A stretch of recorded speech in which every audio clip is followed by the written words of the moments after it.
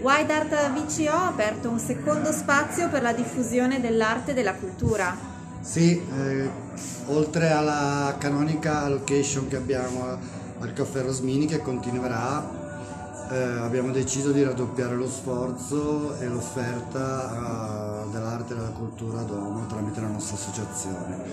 Diciamo che scadono in questi giorni 5 anni nell'inizio dell'attività, quale occasione migliore per offrire una nuova location differenziata dal punto di vista di proposta ma non dal punto di vista di quello che è il nostro intento di diffusione culturale e artistica. Quanti sono gli artisti che ospita, da dove provengono? Al momento gli artisti sono più di una ventina e mh, coprono sia fasce di età e di generazioni differenti che vanno da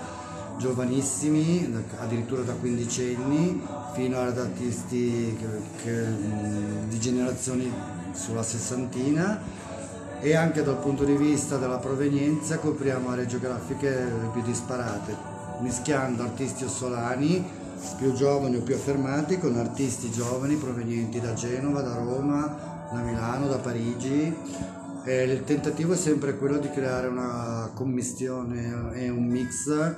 creativo e stimolante per, per, per, tutti gli artisti, sia quelli più affermati che si confrontano con i giovani, sia i giovani che si confrontano con gli artisti più affermati.